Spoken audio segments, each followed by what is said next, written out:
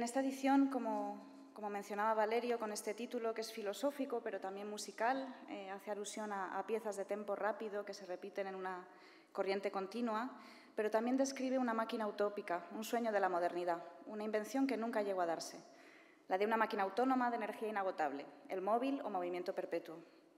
La modernidad tuvo otro sueño que sí llegó a realizarse, eh, el de la cámara fotográfica.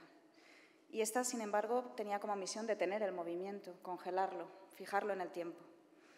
La fotografía está cerca de cumplir 200 años. Su historia es, pese a todo, breve y muy fundamental, porque desde mi punto de vista no hay invención contemporánea que haya sido tan fiel a las mutaciones sociales de nuestro tiempo.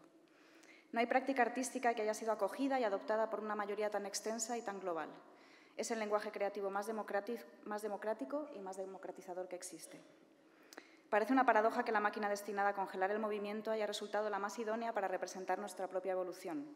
La representación del movimiento, una quimera protofotográfica, podemos recordar las cronofotografías de Marey o de, Edward Muybridge, ha trascendido para representar los cambios de nuestras sociedades en un periodo especialmente delicado como es el de la transición digital.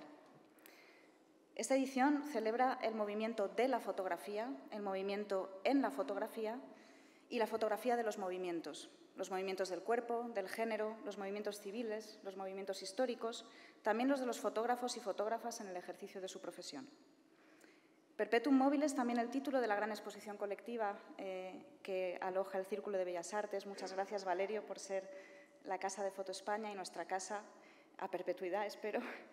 Eh, esta exposición está efectivamente, eh, bueno, hay mucha expectación yo no quisiera desvelar mucho, pero sí que menciono que se ha realizado en complicidad con quien fuera el primer director artístico del festival, Alejandro Castellote, que fue además eh, director del área de fotografía de esta casa del Círculo de Bellas Artes entre 1985 y 1996.